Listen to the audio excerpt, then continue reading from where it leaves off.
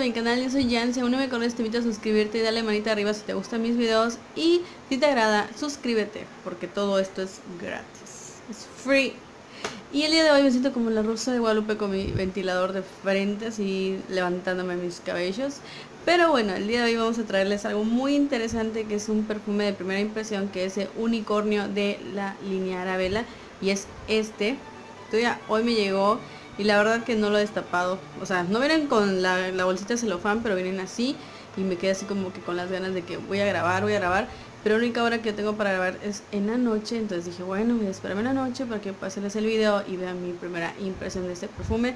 Creo que fue lanzado hace como dos campañas anteriores de Arabella, pero pues no, no tuve la oportunidad de pedirlo debido a que estuve en otras cosas, ya saben, prioridades por el momento.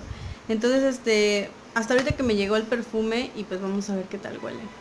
No me sé las notas todavía, pero atrás te dice ingredientes y todo eso. Obviamente, como es mi primera impresión, voy a decirles lo que yo percibo al momento de abrir y sentir la fragancia. La cajita viene así. Al parecer, yo le veo como que una especie así de puestecitos. Se han visto en, en tipo circo o algo así. Este viene el unicornio diferente a la otra fragancia, de hecho el unicornio viene diferente, como tipo vintage, bueno yo lo veo así, este más adaptado a ese a esa época un poquito más antiguita al nuevo unicornio que sacaban en la primera de trendy. Pero esa fragancia desafortunadamente un accidente y se me rompió y entonces pues estoy esperando que se haga otra vez para que yo la pueda pedir y hacer la comparación con este. Ok lo abrimos. Viene así Ok, voy a bajar la cajita. Voy a ponerla acá. Uh. viene así.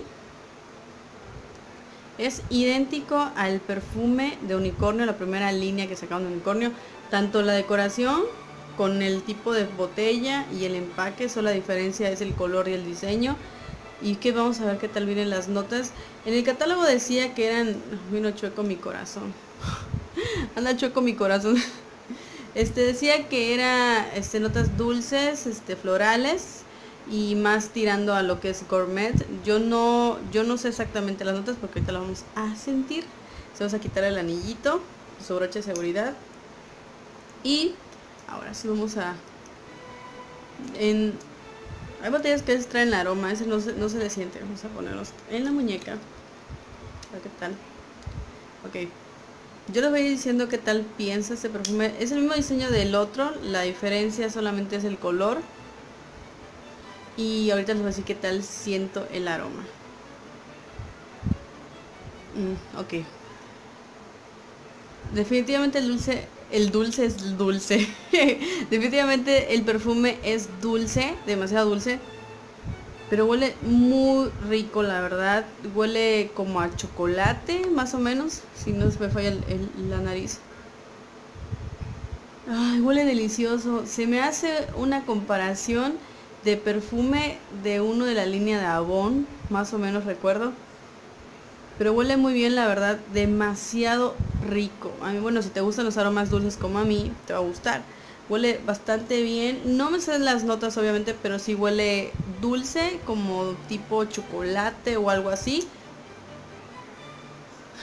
Huele delicioso. No le encuentro una nota que diga no sé exactamente, porque obviamente es mi primera impresión, no sé exactamente qué notas tenga. Recuerdo que el foto decía que era este frutal, gourmet, entonces yo viene gourmet. Pero obviamente viene siendo lo que es la línea dulce de chocolate, como tipo tienda de dulces de pastelillos algo así.